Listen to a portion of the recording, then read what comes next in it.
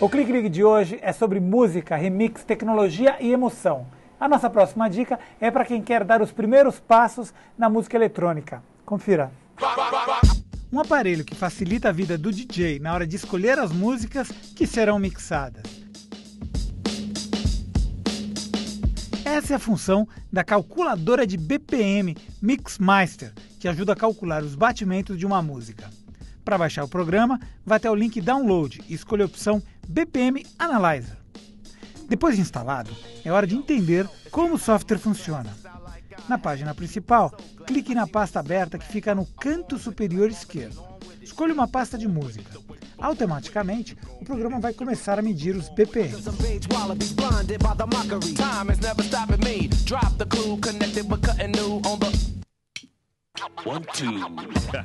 Se seu feeling está aguçado e você desconfiar dos resultados, não pense duas vezes. Peça para o programa fazer uma recontagem. Depois de confirmar os resultados, você pode imprimir os BPMs, o que vai facilitar a sua vida na hora de criar as mixagens. O Mixmaster também possui outras plataformas, como mesa de áudio e pickups. O único inconveniente é que eles são pagos. Mas dependendo da sua necessidade, pode valer muito a pena. Curtiu a dica? Compartilhe! melodically. Use rap to sonically bruise cats, move over chemically blue tracks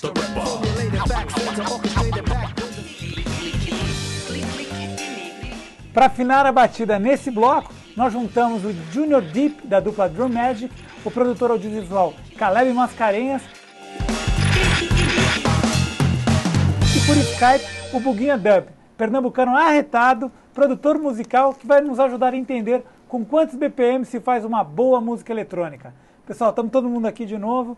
Júnior está aí no som, você fica super à vontade. Eu tinha perguntado para o Dubinha como é que um músico faz hoje para faturar, porque, afinal de contas, são todos trabalhadores. Quero saber você, como é que você vê essas possibilidades agora usando celular, iPad, iPhone, essa coisa Então, toda? eu acho que mais do que nunca também uma parte é ele ter essa rede, como até o próprio Júnior falou, né? caso do Magic mesmo, ele mandou o material dele para uma série de gravadoras e, e lançaram mundialmente, né? Então, hoje acho que uma parte essencial e as ferramentas que a gente tem são muitas, né, para estar tá divulgando a nossa música e é, assim, é uma parte muito importante para ter um sucesso. Que na verdade, essa questão dos downloads, a gente é muito contraditória, que é muito difícil ganhar dinheiro com downloads, sim. Mesmo sim vendendo seu MP3, já tem, tem até infográficos mostrando isso, que a Lady Gaga, para ela poder ganhar 100 dólares, ela tem que vender tantos milhões de downloads para ganhar 100 dólares, entendeu?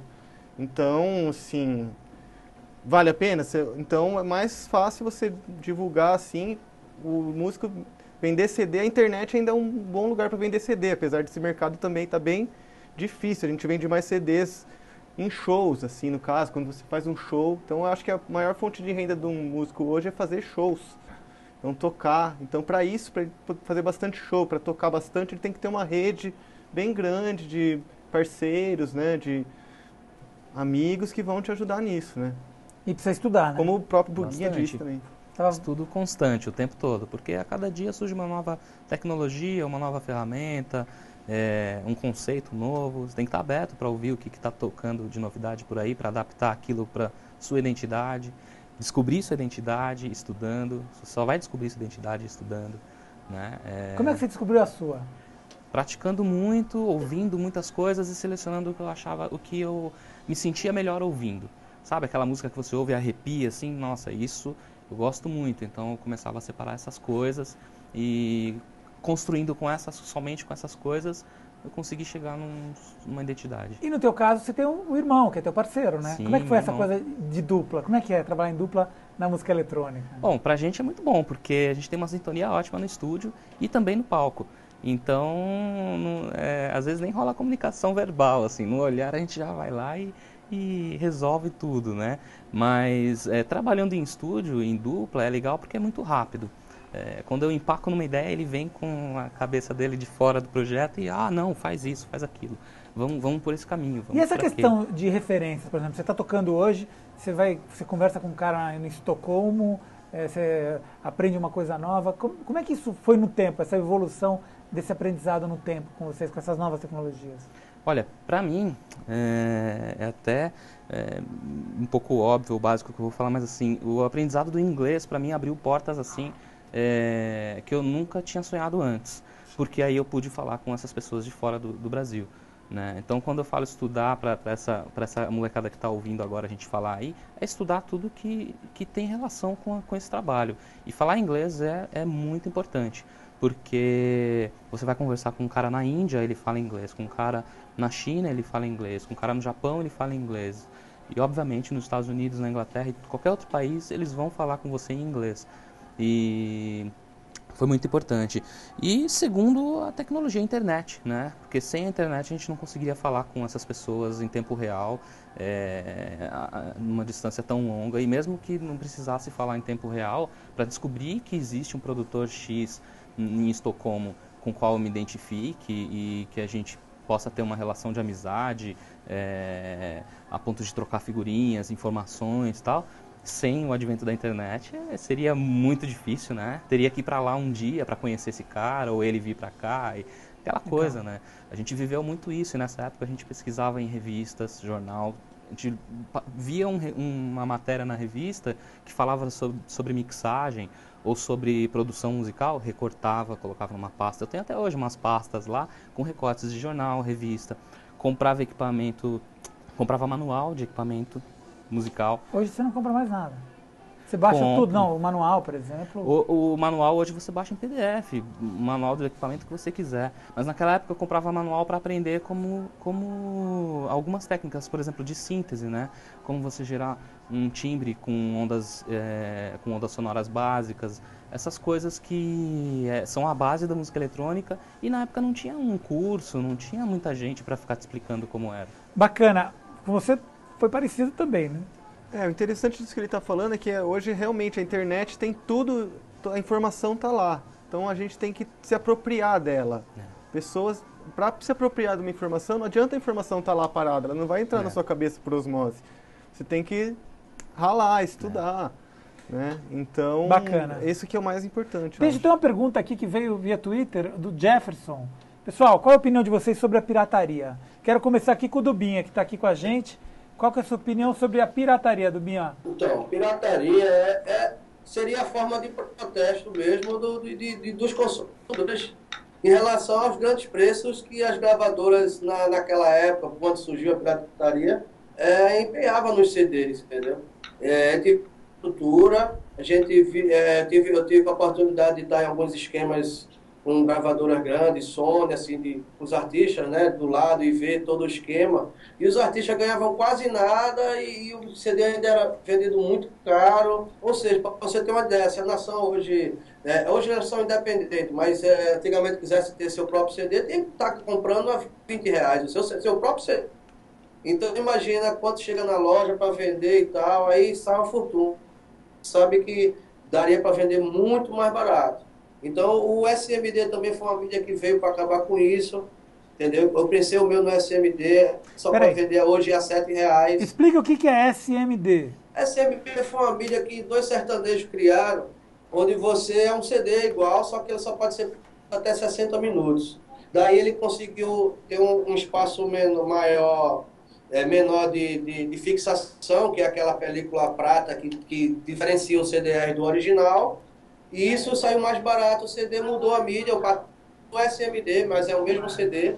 E daí, mas a, a lei dele era a seguinte, na minha época eu pensei, era, você só podia vender a 5 reais cada CD desse. Vem num digipack, vem num digipackzinho, ou então numa capinha só com envelope com encarte dentro. Deixa eu puxar. CD original. Deixa eu puxar a conversa aqui pra, pra cá também. Qual é a sua opinião sobre pirataria? Sobre pirataria? Ah, eu acho que a pirataria, na verdade, é uma coisa que as grandes gravadoras estão, né, querendo... Sim, acho que as pessoas deveriam ter direito a baixar tudo gratuitamente mesmo pela internet, você fazer a artista, cópia. Se eu comprei um CD... E você como artista, Se eu fui numa loja, comprei um CD e que tirei uma cópia na minha casa, eu estou cometendo um crime? Então, metade das pessoas do planeta são criminosos? Quer dizer, por causa de um grupo de pequenas grandes, pequenas não, enormes, grandes tá, gravadoras. Mas você como artista, e você DJ Deep como artista, como é que você vê a pirataria? Bom, o meu caso é, é, é, às vezes rola um conflito, porque assim, além de artistas, nós temos um selo musical, onde nós colocamos nossas músicas à disposição do, dos fãs para comprar, né? São vendidas as músicas. E, e então é, é, rola um conflito, porque como artista eu acho, eu, eu, eu, acho que as pessoas, é, eu acho legal a ideia das pessoas terem acesso livre à nossa música. É, gosto muito quando alguém toca minha música ou ouve minha música, ou sabe quando eu sei que, que esse fã ficou assim é, alegre, é, que a música, que a nossa música influenciou ele de alguma maneira. Pra gente é a gratificação final do artista, né? O artista, na verdade, procura isso quando faz uma música, né? Mas... Tocar as pessoas. Como dono de selo, é complicado gerenciar essa, essa administrar essa falta de vendas com as outras coisas. Porque assim, a gente paga para fazer uma arte gráfica. Eu não sou bom em fazer design é, de capa. Então, é, é, e também tem, o meu tempo é muito ocupado com, com a música. Tenho que produzir, fazer as coisas, é, administrar o próprio selo. Enfim, se, se não vem receita, fica complicado. É bem difícil de fazer o selo funcionar assim. Então, então assim, a gente lançava antigamente uh, os nossos títulos em vinil e digital. Hoje em dia não, não lançamos mais em vinil, porque as vendas caíram muito e agora é só digital. É, lançamos um CD é, há dois anos atrás, nosso último CD, o último álbum, né, o mais recente, é, também pelo nosso selo. E são coisas que envolvem, por exemplo, você precisa mandar o CD para masterizar num estúdio. O cara vai cobrar de você, o masterizador vai cobrar uns 3 mil reais. E você não vende, sei lá, 10 downloads desse disco, né? Da onde você vai tirar esse dinheiro? Puguinha, nesse sentido, como artista, você é a favor ou contra? Ah, não, eu sou, eu, eu, eu, assim, vender é uma questão de cada um mesmo. Eu, particularmente, eu acho que a música que eu, que eu capto, que eu, que eu faço e tal, junto com a galera, não é minha, entendeu? Ela está sendo mandada de outro lugar, então a partir disso eu também não penso ela como um produto. Eu penso como um produto, sim, o CD, o encarte, a coisa física. Aí você vai ter, além da música, você tem um encarte, vai ter o um disquinho ali para tal. E, tipo assim, vender shows, um shows, um CD. Agora, no, na, na internet, eu não sei. Para mim, pra mim é, é, assim, quanto mais você mais ela deixa de atingir os pontos. Não só ganho com isso, liberando, porque também eu não acho de propriedade ela assim, uma obra minha, uma obra de várias pessoas juntas que a gente realmente canalizou, catalisou de alguma, sabe, alguma energia aqui em cima, a gente captou e, e cuspiu isso. Tá aqui o adubo, jogamos. Não é nosso. Agora, o show, eu tocar.